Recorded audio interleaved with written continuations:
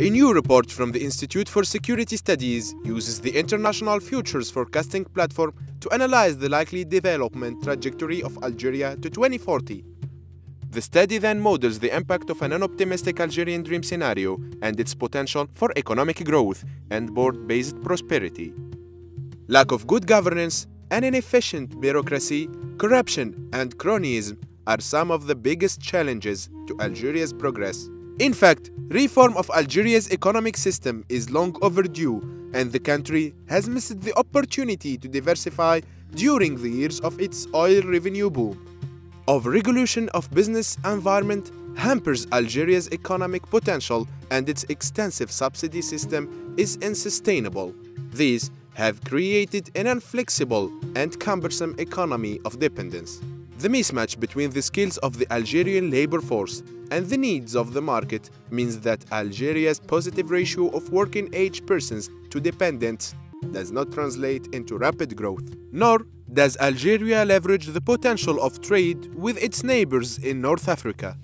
Algeria is also highly dependent on food imports, which are volatile and susceptible to international supply chain disruptions and price fluctuations. This is especially important in light of declining foreign exchange reserves. The impact of climate change, among other effects, will further strain water supplies and agriculture productivity. Algeria has significant renewable energy potential that could reduce its dependence on hydrocarbons. The economy must allow for greater economic opportunity and freedom, lower barriers to participation and competition, while pursuing economic diversification on top of creating a conducive investment climate. Key among this include lowering investment barriers and promoting merit and efficiency. In this way, Algeria can create an environment conducive to the private sector and entrepreneurship that would boost creativity, competition, and job creation, taking advantage of its technological potential to promote a digital economy. Key to reform will be greater effort towards reducing subsidies that benefit the wealthy while promoting better targeted social safety net programs that effectively impact the poor.